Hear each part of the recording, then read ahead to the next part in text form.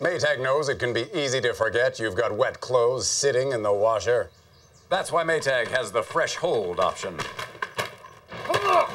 It keeps clothes tumbly fresh in the washer for up to 12 hours.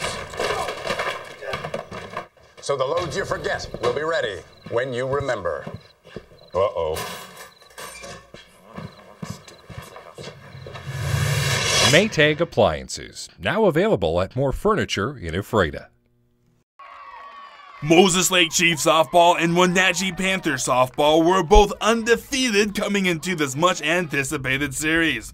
The Chiefs were determined to stay perfect on their home field, and they were able to do just that after a 12 2 win that ended the game in five innings. Moses Lake got off to a fast start, scoring five runs in the first inning and never looking back.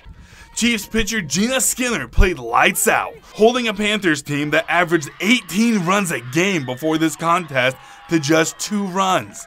Skinner also scored the winning run of the game by stealing home on a wild pitch.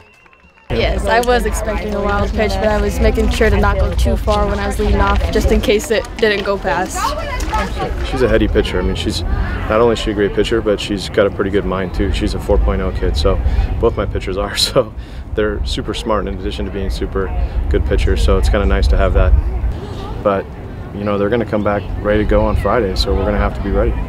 The series will finish this Friday in Wenatchee at Walla Walla Point Park in a doubleheader. First game will start at 4 p.m. and the second game will take place shortly after at approximately 6 p.m. I'm Adam Cichoski for iFiber oh One Sports.